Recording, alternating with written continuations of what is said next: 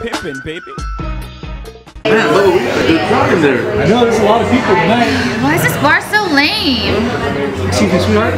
Yes. Why are you such a bitch? Divorce, I'ma split his bucks. Just because you got good sex, I'ma break bread so you could be living it up.